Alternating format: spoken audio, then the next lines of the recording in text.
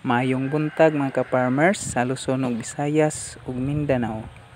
Ani ta karon sa atong tanom nga sili karon ah, tan-awon nato ug unsa nay iyang porma karon. So atong nakita nga nisugod nagkahinog ang iyang mga bunga. Nya buaw kaayo ang iyang mga bunga. Mao ni atong sili nga hang So nindot na jud kaayo tan-awon mga ka-farmers ang iyang bunga tungod kay ah bulyo na kaayo ang iyang pagpamunga. Unya ah, ang iyang mga buwak ana So atong gitukuran og sanga tungod kay nalukat katumbahon tungod sa kadagas bunga. Ni nga kinahanglan jud og kanang uh, tukuran para di malukat. Tungod kay nganing klase sili ug makadaghag bunga. Uh, ma lukat siya matumba. So kirisang usa na atong gitukuran tungod kay ani aksyon siya katumba. So daghan jud ang iyang bunga mga ka-farmers. Pero ang presyo sa merkado karon sa atong sili nga ingon ani uh, medyo baba ang presyo. Tungod kay 40 per kilo na ang iyang presyo. Pero okay na na mga ka-farmers at least ado na pay 40 per kilo ang palit.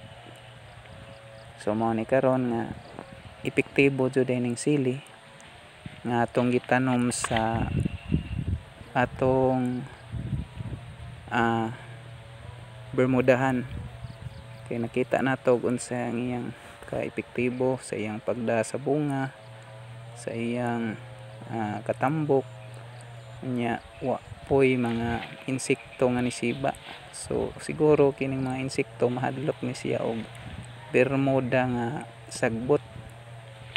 Kay atong nakita nga kanang hapsay ang iyang tubo. Nya wa pa ko naggamit og chemical nga spray tungod kay uh, wa man say nadaot. Mao ni nga nindot day ang naisili nga sa bermudahan.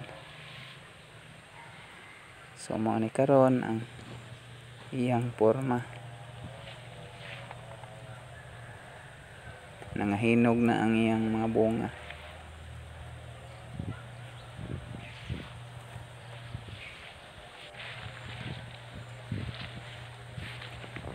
So ingani lang ni atong uh, video karon atong napakita ang sili nga hang og unsa ka anindot ang iyang porma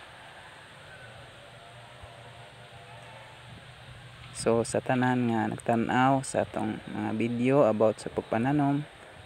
Ug sa tanang mga bro, viewers, uh, daghang salamat ninyo sa padayon nga pag uh, sunod sa atong mga video nga gihimo uh, matag uh, semana nga do na tay ma-upload nga bisa na lang og duha nya padayon gyapon mo sa pag uh, suporta sa pagtan-aw sa atong mga kalambuan about sa pagpananom.